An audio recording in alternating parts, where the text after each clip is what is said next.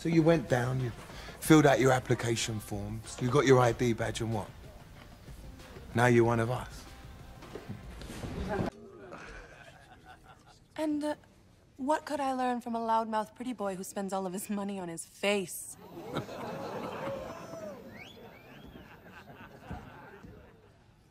Maybe I'll pull your arms and legs off. Roll your head around in the street. Maybe that'll teach you some manners. You might mess up your hair. You gonna take that?